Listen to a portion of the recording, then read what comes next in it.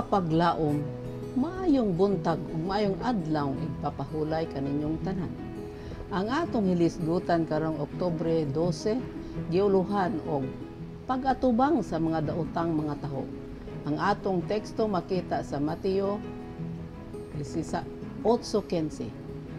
Kung ang imong igsuon makasala, bato kanimo, at tuwa siya og tali kanimo og kaniya lamang padaygi siya sa iyang sayop. Kung maminaw siya kanimo, nan nakabig mo siya. Kapag laom, labaw sa tanan ang apostol nagasulat. Bato ni nga mainiton sa kanunay ang inyong gugma sa usag-usa. 1 Pedro 4:8 Ayaw pagpamati sa mga taho batok sa usa ka igsuon nga lalaki ug babae. Magmatngon kamo og pag-ayo kung sa unsang paagi ang inyong himuon sa pagsudya batok sa atong silingan. Atong pangutanon ang nagdala sa akusasyon kung iya bang natuman ang pulong sa Ginoo may tungod ni ining butanga. Si Kristo nagbilin og tin-aw nga pagtudlo kung unsang atong buhaton. Atong adtuon ang atong igsuon ug sultihan siya sa iyang sala tali kaniya og kanimo lamang. Ayaw pasangil og magaingon sa imong kaugalingon nga walay personal nga pagdumot tali sa giakusar og kanako. Ang balaod nga gihatag ni Kristo tataw kaayo nga kining pangatarungan dili madawat. Bisan pa kon ang mulo mahitungod kanimo ug niadtong gireklamo, ang sugo ni Kristo maura. Ang imong igsuon nga nagkinahanglan og tabang sultii siya. Dili ang uban nga ang taho mikuyanap bahin kaniya. Hatagi siya og kahigayunan sa iyang pagpatin-aw niini basin tingali nga ang mga taho dili matuod ug ang mga problema mahimo pa nga masulbar pinaagi sa mga yano nga pagpatin-aw.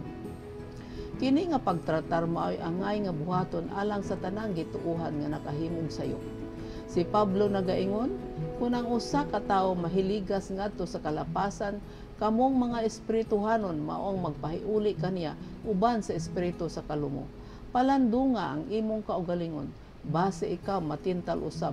Galatia 6:11. Kining mga pulong maoy kasuguan sa langit ug kini pagadad-on ngadto sa inadlaw nga buhat.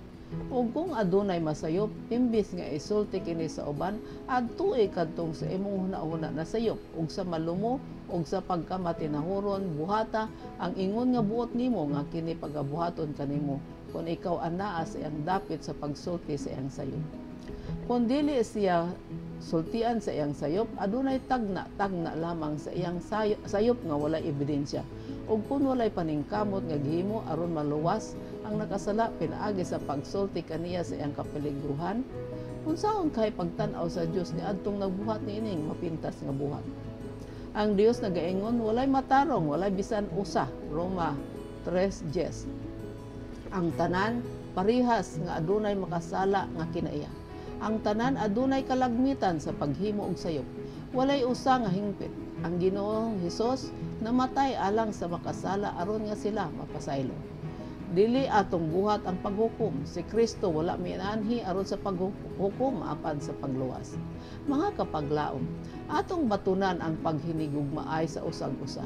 Atong likayan ang paghukom o pagtamay sa atong isig katao tungod kay sila nakasala.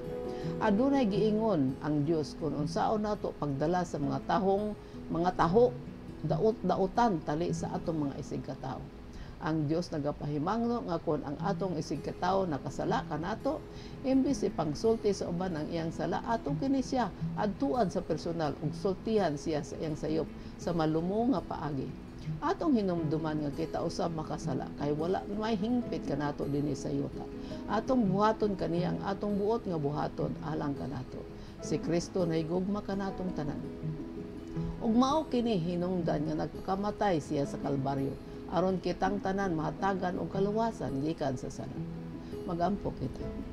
Dios ug may gugmaon namo nga man sa langit, salamat nga aduna kami sulundan.